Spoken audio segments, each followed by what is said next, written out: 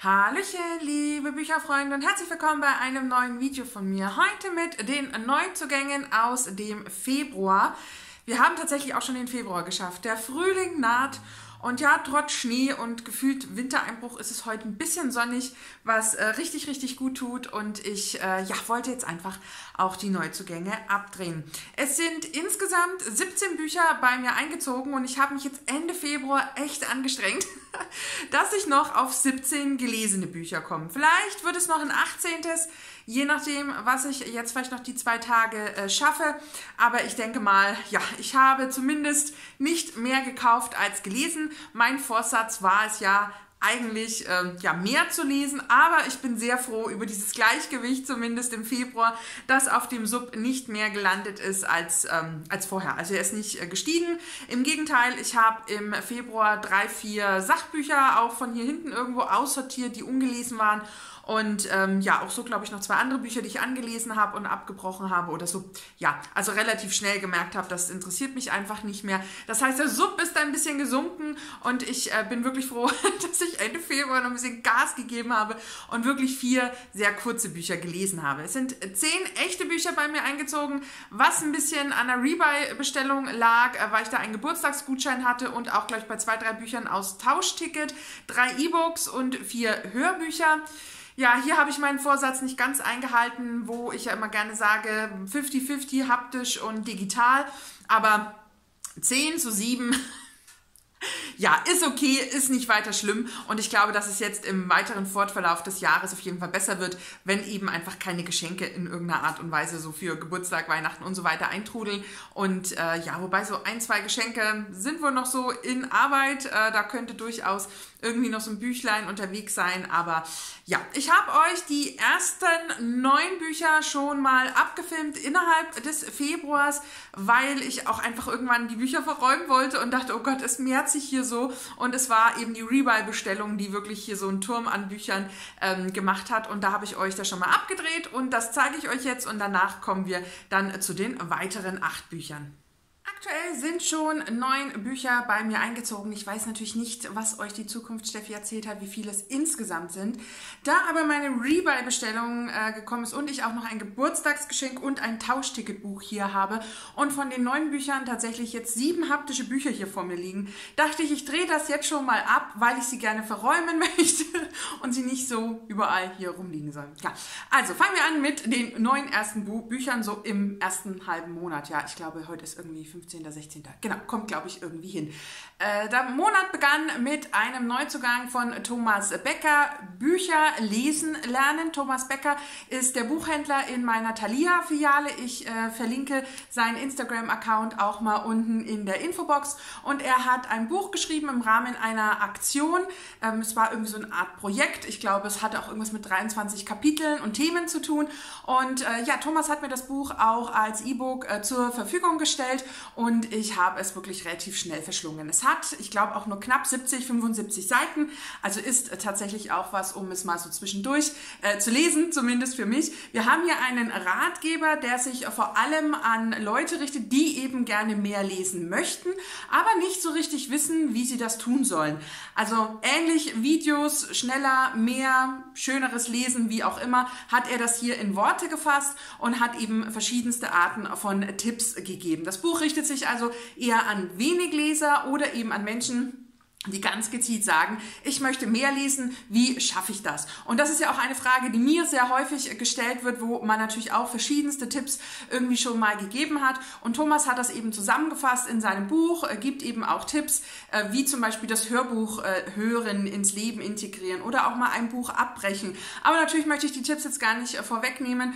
Ich habe das Buch auch schon gelesen. Ihr werdet es auch im Büchermonat Februar dann schon sehen. Ich glaube tatsächlich als Geschenkbuch für jemanden, wo man weiß, der möchte mehr lesen, ist das wirklich eine schöne Idee und das hat er wirklich auch sehr gut ähm, ja, in Worte gefasst und in Aufteilung gebracht und Beispiele mitgenommen. Also ja, das ist auf jeden Fall schon mal was dazu. Dann ist der dritte Teil von Magic Smoke beziehungsweise der Firebrand-Reihe eingezogen von Helen Harper. Das ist Magic Smoke, ist gesprochen von Mary Lou äh, Poolman und ich habe mich so gefreut auf den dritten Teil. Ich habe diese Reihe bisher wirklich sehr, sehr geliebt. Ich fand den ersten Teil wirklich war ein Highlight für mich. Band 2 war auch richtig gut, hat aber so die ein oder andere Schwäche und ich muss natürlich dann auch einfach weiterhören, wie es in dieser Urban, Dist Urban Fantasy Welt äh, weitergeht, wo es eben Vampire gibt, Werwölfe gibt, die Geschöpfe der Nacht gibt. Wir hier eine Polizistin äh, verfolgen, die ja so ein bisschen im cozy Krimi-Style eben auch einfach äh, ja Fälle löst und äh, ja, da ist der dritte Teil von mir als Hörbuch eingezogen. Und jetzt kommen wir zu den besagten vielen haptischen Büchern. Ich habe eine Rebuy-Bestellung äh, getätigt. Ich hatte einen Gutschein zum Geburtstag bekommen und äh, ja, habe mich da ausgetobt und habe Band 2 und 3 äh, von der Tintenherz-Reihe sozusagen direkt bestellt. Tintenblut und Tintentod. Ähm, habe ich mir beide gebraucht mitgenommen. Der erste Teil war im Januar ja für mich ein Highlight und ich habe es beim zweiten Teil tatsächlich mit dem Hörbuch probiert. Allerdings ist das so merkwürdige Musik enthalten, die auch noch so laut ist und das hat mich so genervt, dass ich dachte, nein, die Bücher liest du. Es sind natürlich schon ganz schöne Klopper und Schinken, aber das hält mich ja nicht vom Lesen ab und dementsprechend geht es mit der Geschichte weiter. Ich bin super neugierig, ob wir die Charaktere rund um Maggie und Mo nochmal wieder treffen. Ähm, ich gehe mal davon aus, weil ich glaube, auf dem zweiten Teil ist auch von Maggie die Rede. Ich möchte aber gar nicht so viel vom Klappentext lesen, weil wir haben ja hier eine Welt, wo mit dem Vorlesen eben Dinge aus Büchern herauskommen können. Das war ja auch äh, ja so ein bisschen das Thema im, im ersten Band, dass wir eben von Mo's Gabe erfahren haben und Maggie, seine Tochter, das auch erst mitbekommen hat. Und ich bin sehr gespannt, wie es weitergeht und freue mich da definitiv aufs äh, Weiterlesen. Dann waren einige meiner Wunschlistenbücher, ich glaube tatsächlich, äh, ja, drei waren Wunschlistenbücher. Und die Telefonzelle am Ende der Welt durfte nun auch mit von Laura Imai Messina. Ähm, ich versuche ja bei so Gutscheinen, egal ob es Thalia oder was auch immer oder eben auch Rebuy oder sonstiges ist, äh, immer so ein bisschen zu schauen, was könnten Highlights sein, damit man dieses Highlight eben dann auch mit dem Geschenk und dem Anlass ähm, so ein bisschen in Verbindung bringt. Ob ich jetzt tatsächlich von der Tintenherz-Reihe Band 2 und 3 aufheben werde, selbst wenn das Highlights sind, wovon ich jetzt einmal ausgehe, weil mir der erste so gefallen hat, sei es mal dahingestellt, aber da wollte ich eben einfach äh, das Buch weiterlesen und ähm, habe sie mir deswegen auch bestellt. Bei die Telefonzelle am Ende der Welt, ich glaube, das Buch ist letztes Jahr oder schon vor zwei Jahren rausgekommen und es gab einige ah, so mittelmäßige Stimmen und das hat mich, steht hier gar kein Jahr, und das hat mich so ein bisschen ähm, ruhen lassen und das Buch ist aber nie so ganz von der Wunschliste verschwunden. Es ist von Laura Imal Mesina, genau richtig, und es geht um die Wunden eines Lebens, die zu heilen es einen ganz besonderen Ort braucht. Ähm, es gibt hier nämlich äh, in Japan am Hang des Kuirayama, ähm, steht inmitten eines großen Gartens das Telefon des Windes. Jahr für Jahr kommen tausende Menschen hierher, um mit ihren Liebsten im Jenseits zu sprechen. Als sich ein gewaltiger Wirbelsturm ankündigt, reist aus Tokio eine junge Frau an, entschlossen, den Garten um jeden Preis zu retten. Und ich glaube, meine Erwartungen waren, als es herauskam, doch ein bisschen eine andere als die, die ich dann in verschiedenen Stimmen gehört habe. Und jetzt waren die letzten zwei Jahre in Bezug auf Trauer auch nicht so ganz einfach für mich. Und es geht hier eben auch um eine Tochter, die ihre Mutter im Tsunami 2011 äh, verloren hat. Und ähm, ja, ich bin da sehr gespannt, ob ich das schon emotional schaffe, ob das vielleicht auch eher so ein Buch ist, was ich im Sommer lese, wo es mir tendenziell so ein bisschen leichter fällt, schwere Themen zu lesen. Aber ja, mir ist es nicht aus dem Kopf gegangen, deswegen durfte es diesmal mit. Ein Buch, was gar nicht so in aller Munde war, obwohl ich eigentlich, als es eine Neuerscheinung war, damit dachte, dass äh, ja, das Kaufhaus der Träume äh, ja sehr viele Rezense, Rezensen, also viele Lesenden, die darüber berichten, äh, erhalten wird. Es ist äh, von Le Millet. Und es heißt so schön, reservieren Sie Ihren Traum, er wird zur bestellten Zeit geliefert. Und das Buch war jetzt auch günstig gebraucht zu erhalten, ist auch in einem sehr guten Zustand. Also ich kann bei allen Büchern nicht meckern über den Zustand. Ist natürlich auch der Vorteil bei zweiten und dritten Teilen zum Beispiel, äh, dass man natürlich sagen muss, ähm, die werden wahrscheinlich auch nicht so oft durch die verschiedensten Händen, Hände gehen. Ich glaube, so Einzelbände oder erste Bände, das ist schon mal was, was öfter weggeht. Aber welcher Prozentsatz liest nach einem ersten Band vielleicht auch den zweiten? Ne? Aber gut. Ähm, ja, es ist der sensationelle Debütroman von Li Millet, bezaubernde Geschichten aus einer fantastischen äh, Traumwelt. Ähm, dieses Buch hat eine Fantasy-Welt äh, geschenkt, die ich als nächstes nach Hogwarts besuchen möchte. Das Buch hat mich zeitneu bewerten lassen, die mir jetzt bedeutungslos oder wenn ich zu viel geschlafen habe, als vergeudet vorkam, hat eine Bloggerin äh, geschrieben. Und ähm, ja, wir treffen hier auf Penny, die in einem ganz besonderen Dorf äh, lebt.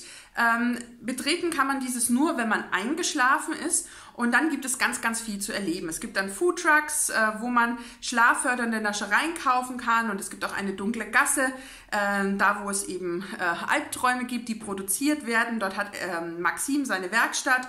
Und äh, ja, Penny hat einen großen Wunsch, denn sie möchte einen Job in dem ehrwürdigen Kaufhaus ergattern ähm, und der geht in Erfüllung und dann arbeitet sie hochmotiviert am Empfang und in dem Kaufhaus äh, werden eben Träume zur Verfügung gestellt, hergestellt. Ja, ich bin super neugierig, heißt auch über eine Million verkaufte Exemplare in Korea.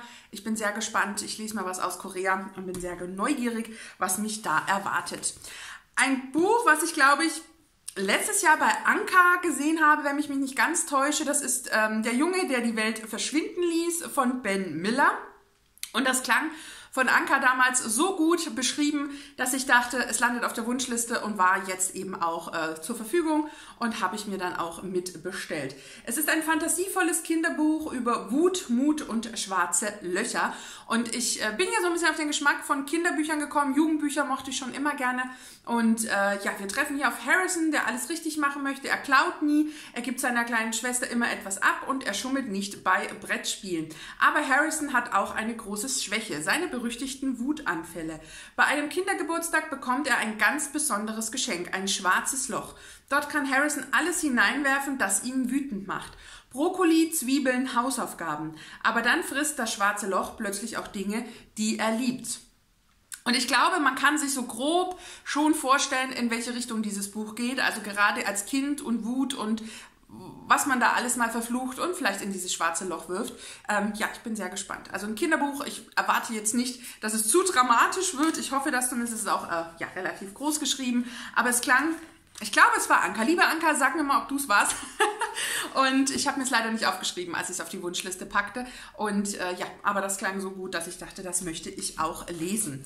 Dann sind wir mit der Rebuy-Bestellung soweit durch und ich habe ein Geburtstagsgeschenk, ähm, hat mich ein bisschen verspätet erreicht von einer lieben Freundin, einfach weil wir uns ein bisschen später ähm, gesehen haben. Und sie hat in meinen Highlights-Videos ähm, letztes Jahr entdeckt, dass ich die Bücher mit dem Jungen, dem Esel, dem Fuchs und dem Maulwurf und der Panda, der große Panda mit dem kleinen Drachen, dass ich das so schön fand. Und sie hat das in der Buchhandlung entdeckt.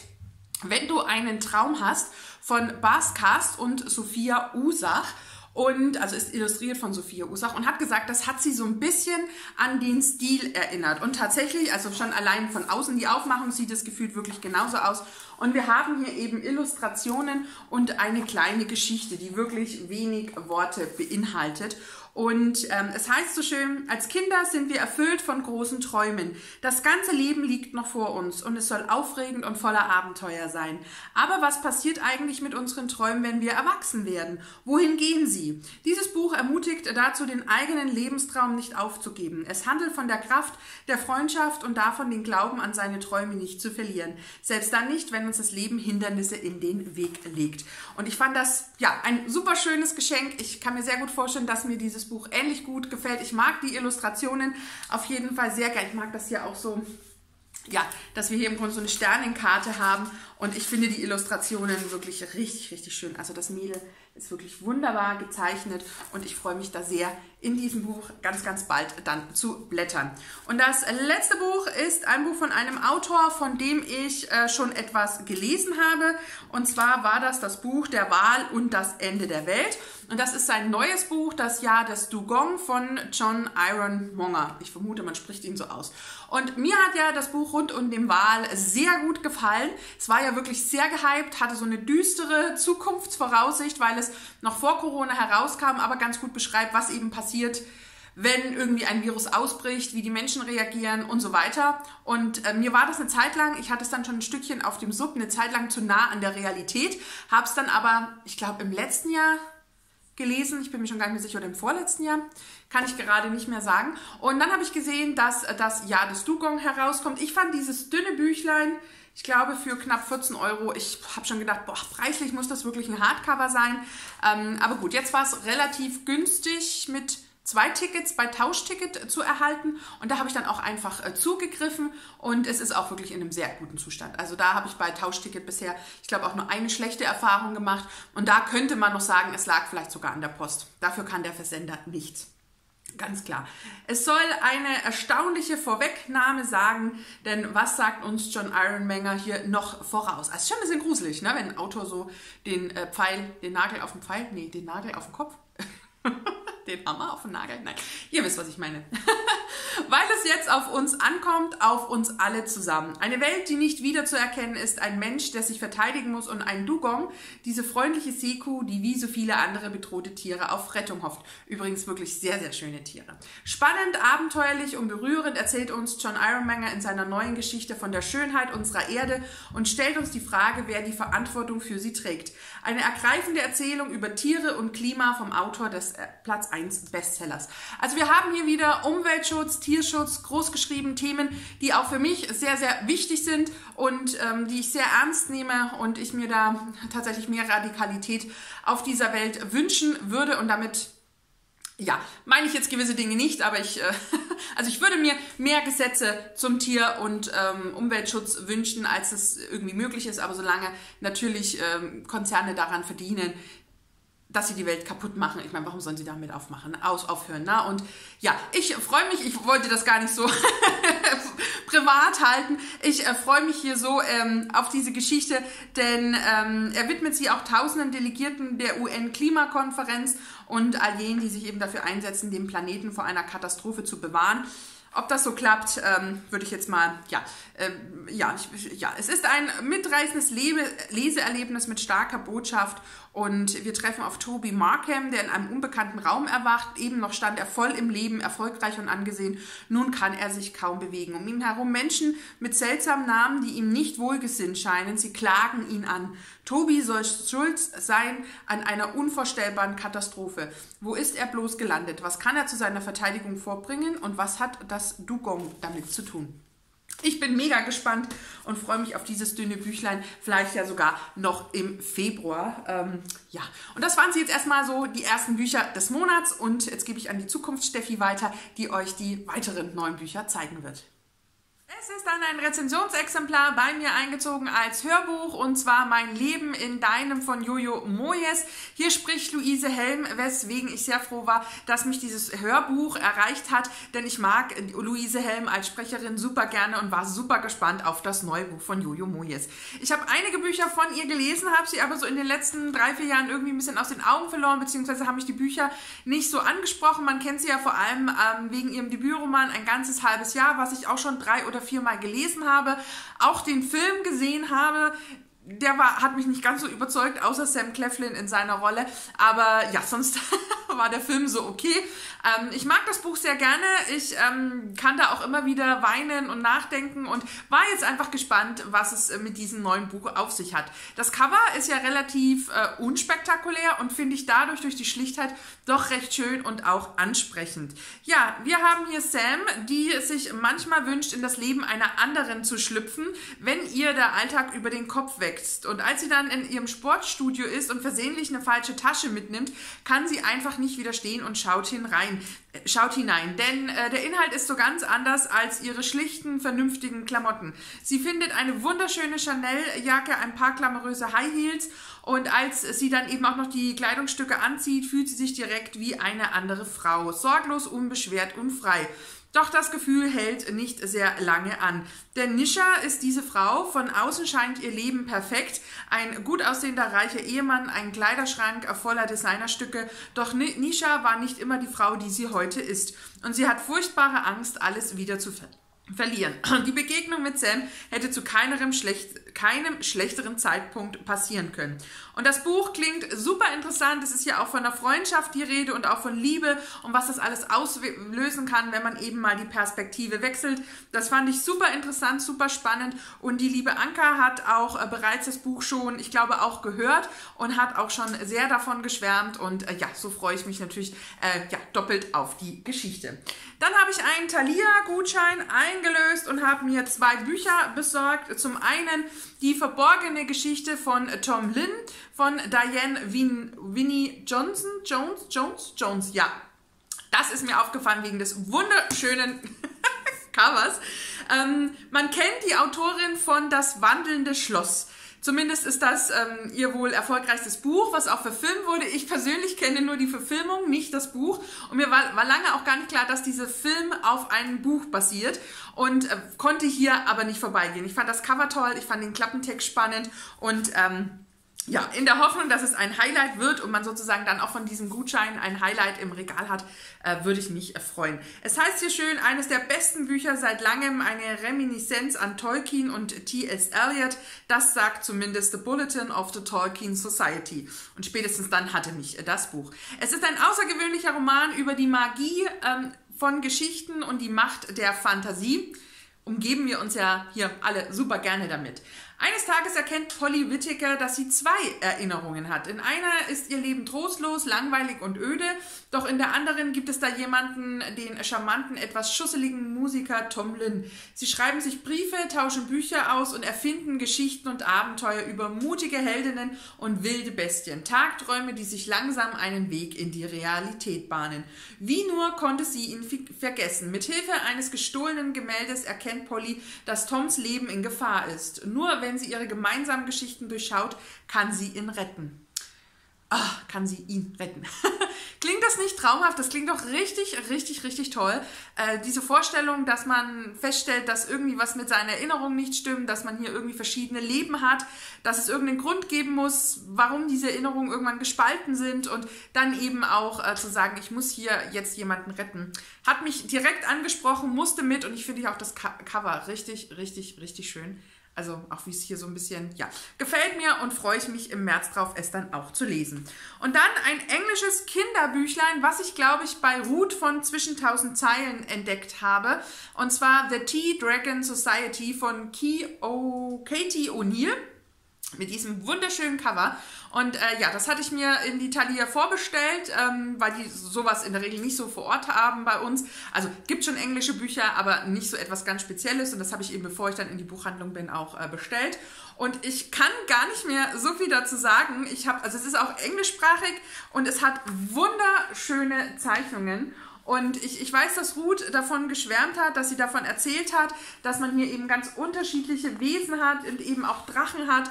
Und ähm, ja, ich, ich, ich bin so, so gespannt. Ähm, hier gab es wohl schon, ah, sie hat schon mal einen Award, Award einen Preis gewonnen, äh, Princess, Princess Ever After. Und das ist jetzt sozusagen ähm, ja, eine weitere Geschichte von ihr. Und ähm, ja, wir haben hier Greta, die gerade alles so ein bisschen über die Teedrachen ähm, lernt und erfährt. Dann gibt es auch noch Hesekiel und Eric. Und ja, ich bin gespannt. Ich kann gar nicht sagen, ja, mich hat das so angesprochen. Wenn ich dran denke, packe ich ihr Video unten in die Infobox. Und ähm, ja, ich fand auch das Cover, ich finde die Bilder toll und ich, ich freue mich einfach drauf. Ja, und englisches Kinderbuch, finde ich, geht immer. Und ähm, ja, hat jetzt irgendwie, ich glaube, 10 Dollar gekostet. Ähm, ich weiß gar nicht mehr, was es in Euro gekostet hat. Hat auf jeden Fall gut mit dem Gutschein übereingestimmt. Ähm, das andere Buch war bei 15. Ja, könnte also auch irgendwas um die 10 Euro gekostet haben. Freue ich mich auf jeden Fall sehr.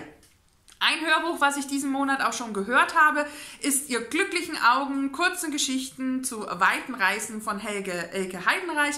Ähm, Elke Heidenreich ist mir drei, vier Mal jetzt innerhalb der letzten zwei, drei Monate über den Weg gelaufen, zumindest digital.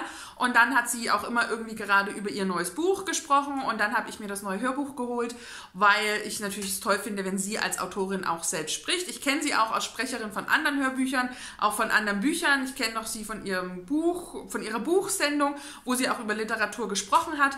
Ähm, hatte jetzt aber keinen so großen, engen Draht irgendwie zu ihr. Und ja, diese Geschichte habe ich jetzt auch schon gehört im äh, Februar und werde da im Büchermonat auf jeden Fall ein bisschen ausführlicher erzählen. Elke Heidenreich hat hier aus Erinnerungen und Tagebüchern ähm, herausgeschrieben, was sie in den einzelnen Ländern so wahrgenommen hat, gefühlt hat, welche Begegnungen sie hatte. Und es beruht aber alles eher schon auf Erinnerungen und eben auch ihre vielen Tagebucheinträge. Dazu erzählt sie eben auch ein bisschen was.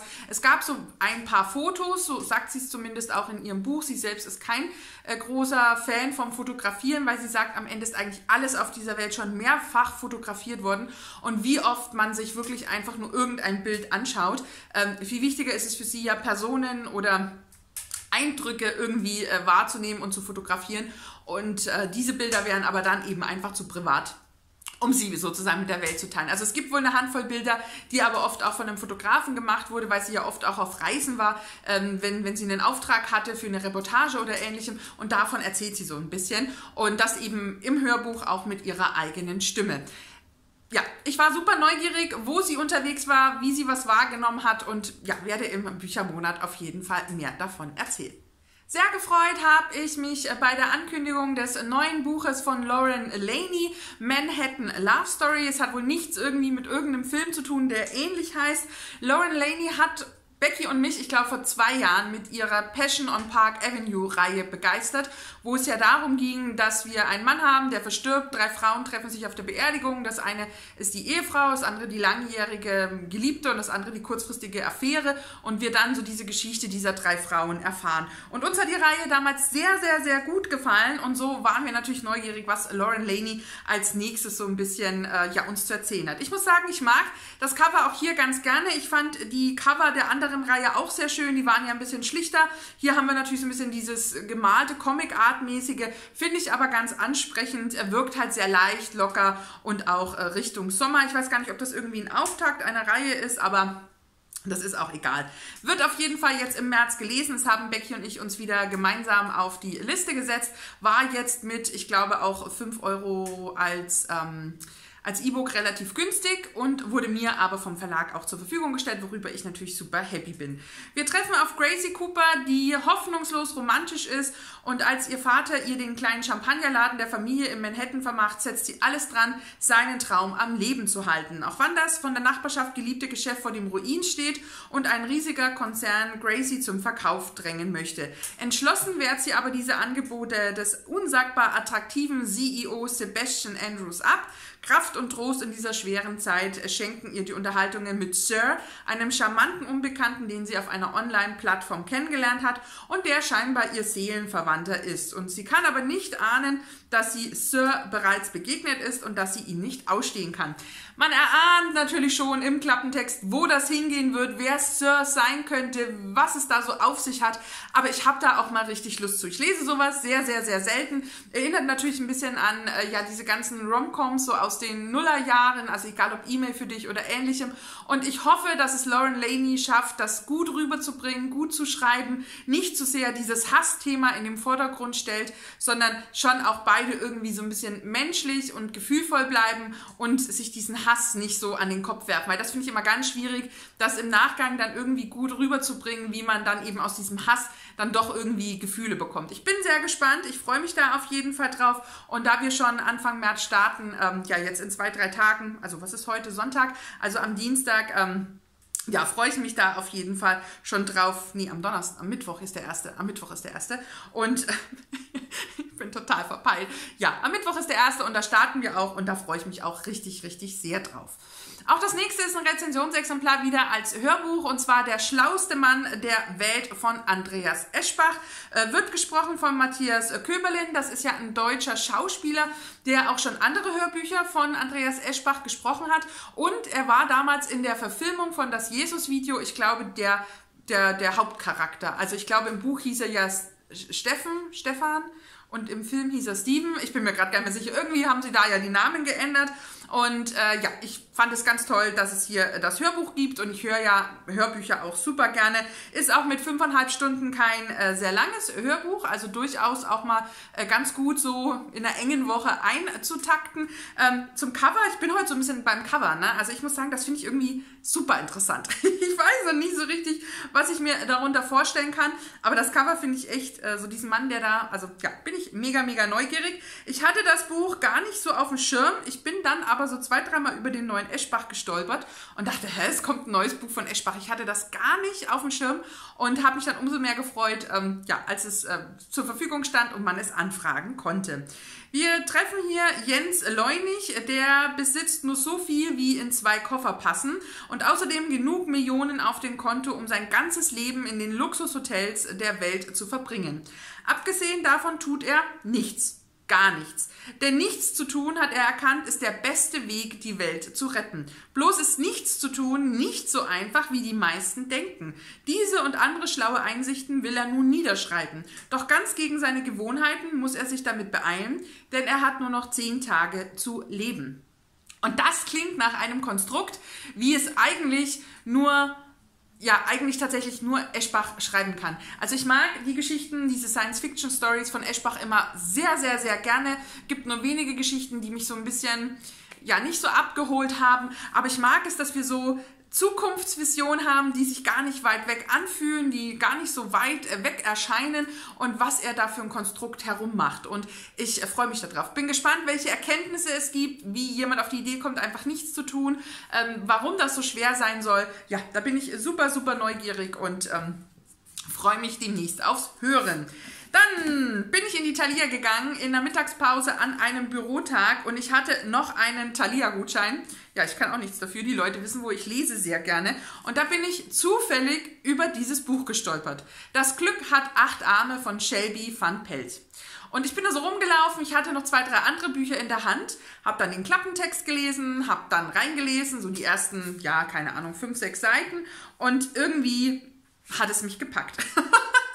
Ich kann nicht so genau sagen, außer dass das Cover natürlich mega cool ist, wenn wir heute schon so einen Covertag haben.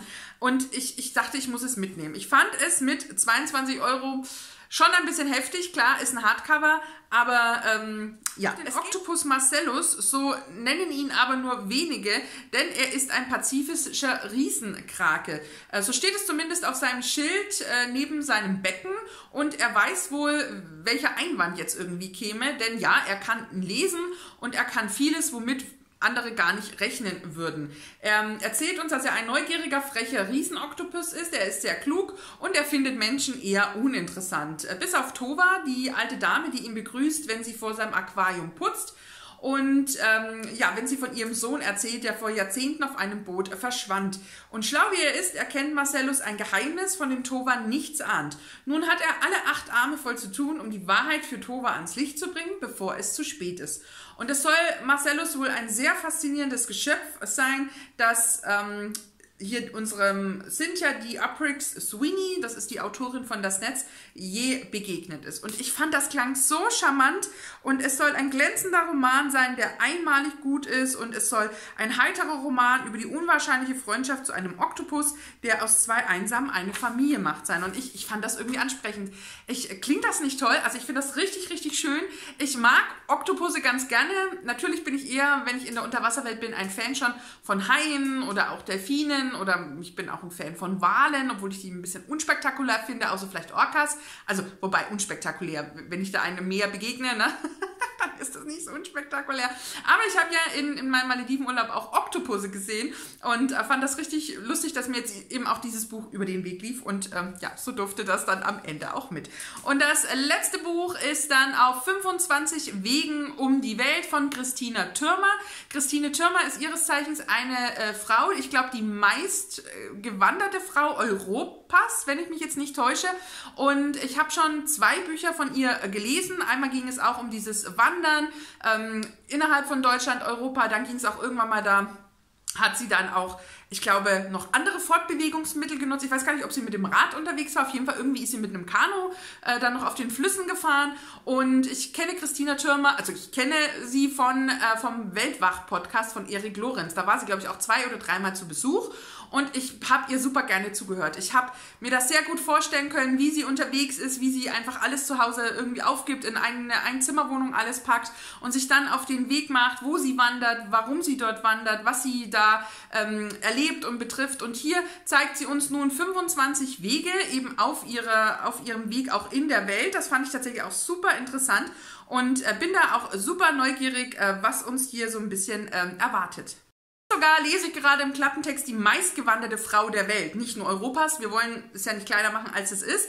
Und äh, sie ist eben eine Frau vom Pilgerweg bis zur Abenteuerroute und erzählt uns hier von 60.000 Kilometern zu Fuß und er erzählt uns hier von den besten Wegen. Äh, 25 Trails, ihre Outdoor-Laufbahn, Wälder, Wüsten, Moore und manchmal auch Museen. Dabei trifft sie auf Nonnen, Cowboys oder auch Steinzeitmenschen, mit denen sie plaudert ähm, über den Schafumtrieb, Militärübungen oder gar Vulkanausbrüchen. Und ich bin einfach super neugierig. Genau, ich hatte Laufen, Essen, Schlafen und Wandern, Radeln, Paddeln von ihr gelesen, diese beiden Bücher. Und es gibt wohl auch noch Weite Wege wandern. Das ist mir noch gar nicht über den Weg gelaufen. Und ich ähm, ja, bin natürlich mega gespannt, von welchen Wegen sie uns erzählt, äh, wie informativ sie das auch alles verpackt. Und ich mochte ihre Stile äh, ja schon in den beiden anderen Büchern und ähm, habe das super gerne gelesen. Werde mir jetzt das andere Buch auch nochmal direkt notieren, weil das ist mir irgendwie untergegangen passiert halt manchmal. Und ja, ich hoffe da vielleicht auf die ein oder andere Inspiration, ähm, vielleicht tatsächlich so erstmal in Deutschland, vielleicht auch europamäßig, was man da ein bisschen wandern könnte. Und das waren sie jetzt die 17 Neuzugänge. Es ist aber noch ein Buch außerhalb des Subs bei mir eingezogen, nämlich die Taschenbuchausgabe von Lost Love von Jackie Fellgut. Die hat mich jetzt auch noch im Februar erreicht. Ich habe es ja schon im Januar gelesen. Da könnt ihr gerne mal in den Büchermonat Januar schauen. Äh, habe ich schon drüber gesprochen. War für mich ein absolutes Highlight wie wir hier so ein bisschen in, im, im Cowboy-Feeling unterwegs sind. Auch hier, ich muss es sagen, ich liebe dieses Cover. Richtig, richtig toll. Ich mag diese Sonnenuntergangstöne. Einfach großartig. Ich habe auch eine kleine äh, Signierung drin und auch äh, zwei, drei Postkarten waren mit drin gelegen. Und ich finde es einfach richtig, richtig schön. Ja, es ist das Geheimnis von Dalton's Creek.